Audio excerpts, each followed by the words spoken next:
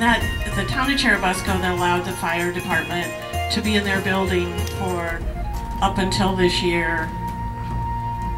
So indebted to them for that.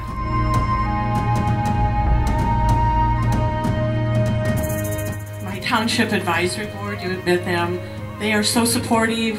If I went to them with a question, they said, What do you think?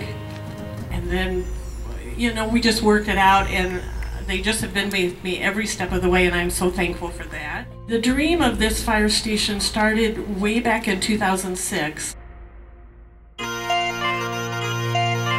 This is a story that will be passed on for generations. The fire service is rich in tradition and history. Traditions such as red trucks and Dalmatians, sons and daughters following in their parents' footsteps. We can do as a town and a township is protect our citizens.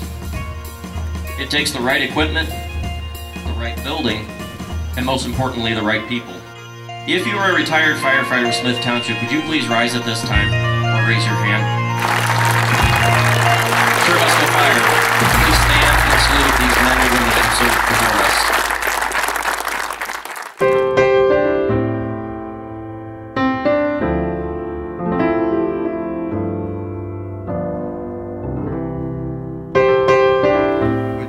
Captain Ben Rinker, his wife Amy, and children maybe come forward. With little regard for his personal safety and no equipment, no protective gear, Captain Rinker entered that structure, pulled that victim out, and rescued that victim so sustain their life.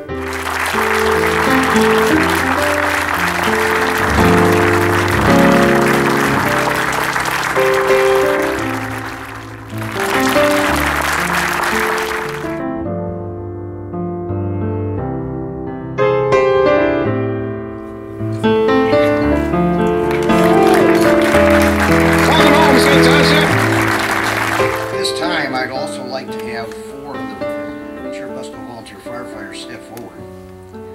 Daryl Ressler, Robert Schanenberger, Ted Shively, and Todd Shively. These gentlemen all have 25 years or more of service with the Indiana Volunteer Firefighter Association and the Churubusco Volunteer Fire Department.